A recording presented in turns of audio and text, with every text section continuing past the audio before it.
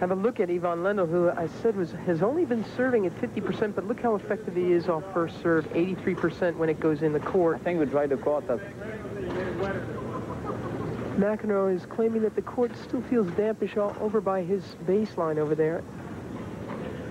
I have to make an important correction, though. I said that Lendl had just a couple of aces, seven, but in fact, he's had 28 already this week. The problem is he, he puts he pumps in the big ones, and yet he doesn't get in enough first serves. That's been his problem. When he gets them in, though, he's got an 83% result. Yeah. It's a pretty good dividend to be picking up when the chips are down, and that's when he came through yesterday against Agassi.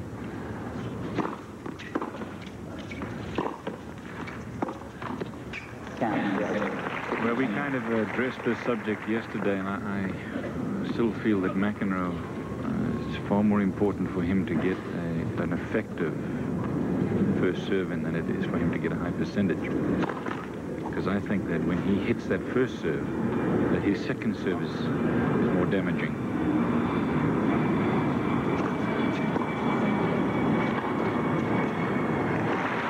That's exactly the kind of stuff McEnroe must do all day long against Ivan Lendl. He was able to do it in Dallas. But again, that was a five-set match.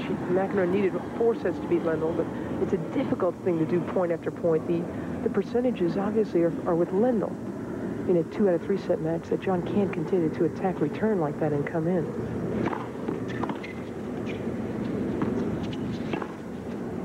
Uh, Why would you say that, Mary? Because I, I think the percentages are very good for him if he does that. Second serve, yes, you're going to make some errors, but it's a much better play than staying back. Well, the point the point is McEnroe on both his serve, which has already been broken, and return of serve, Yeah. has to take the aggressive posture. That's right. And that that's you can't call that a high percentage against a guy like Lendl. I think it's higher than the alternative. Oh, absolutely. The alternative is, is losing. 1530.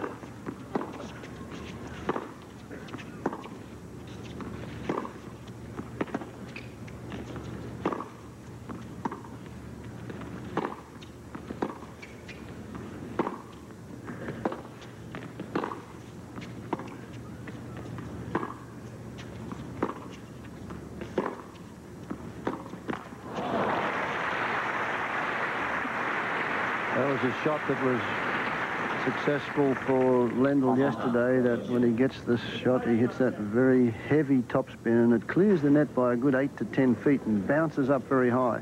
We've talked about the bounce of the ball here in Montreal this week, and that one got up round about McEnroe's shoulder, and he lost control of the forehand drive. There are no surprises left when these two play each other. That's what Lendl says. We just go out and slug it out. If anybody gives anything away, it'll be, that'll be a surprise. That's exactly as it is. They've played, as we said, 30 times. They know each other's games intimately.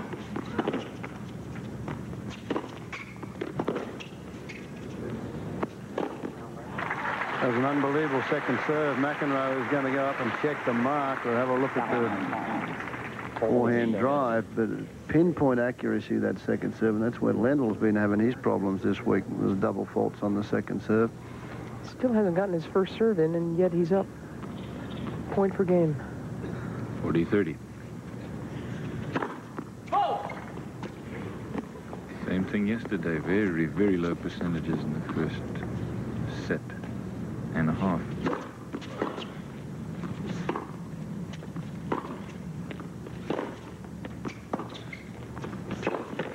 Oh, yeah. Great approach there from McEnroe, and as Mary said, this is what he has to do, and uh, he's smart enough, and he has the experience that when he gets that short ball, they've played one another enough times to know what is required. There he gets the short ball, gets the shoulder turn, makes the approach, and covers the one down the line. Good stretch on that volley. One thing that you'll notice with Ivan Lendl also in the first four or five games, he likes to go down the line with that backhand until he gets grooved and he gets the rhythm on that down the line backhand. He won't try too many approach shots cross court. Winner. Well, Parsons a great approach on that one. And a break point. Lendl's first serve so far on uh, Okay, wait. on a permanent vacation as you hear Lendl complaining about the serve. At least the lines person behind McEnroe when he's serving. Moving to try to get a good look at where the ball bounces. Still no first serve.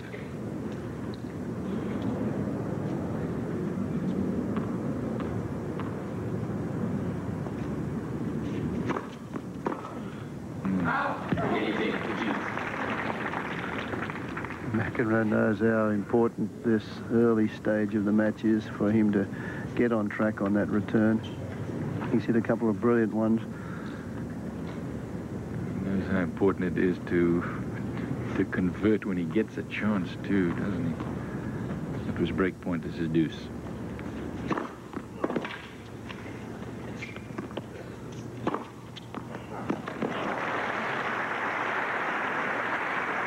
Well, that's the first. That's the first big serve that Ivan Lendl has got in today, and uh, there it is, right out wide to the backhand. And watch this though from behind the baseline. McEnroe in pretty good position there. It's just pace of shot going into that off forehand that wins the point for him.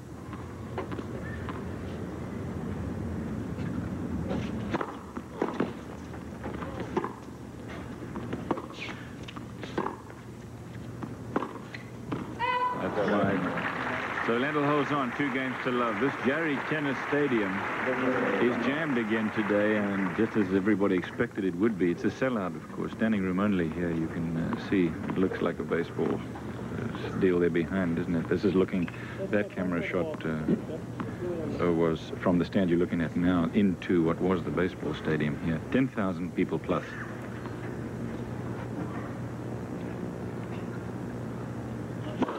Thought we might miss a few this morning because of all the rain we had, but uh, no dice. They're, they're here in force.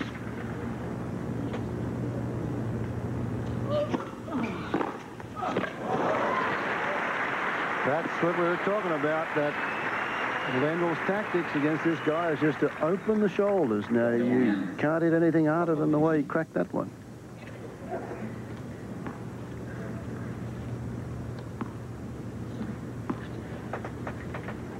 McEnroe won in Lyon. He beat Jakob Hlasek of Switzerland, tiebreaker second set. Then he won the WCT in Dallas, beating Lendl in the semifinals. And Brad Gilbert, who's in the final down in Cincinnati, beat Becker yesterday. Ball. He'll play Stefan Edberg in the final there, the ATP Championships. What a year Gilbert has had. What a summer.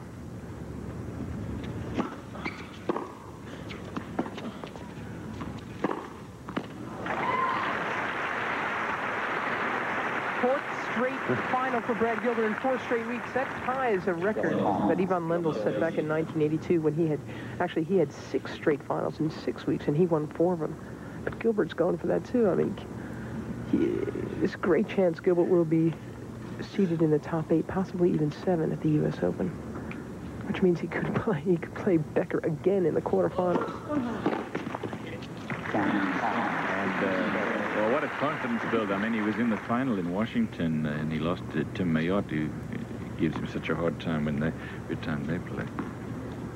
But uh, since then, I like what unbeatable. Gilbert. I like what Gilbert says. I mean, you, you know, Brad, we've we've had him all summer. Yeah. He says, well, if I get seated in the top eight, I get a good parking spot at the Open. That's what I want. Another huge backhand return winner off of McEnroe. He's just climbing all over McEnroe's serve this thing wasn't, uh, the direction of it wasn't bad, but there wasn't a lot on it. Lendl had all kinds of time to do with it, what he wanted. He hasn't break. chipped anything yet. Lendl just nailed everything that, that he could get his racket on. Two off break the, points. Sorry, Cliff, off the ground or on the return of serve.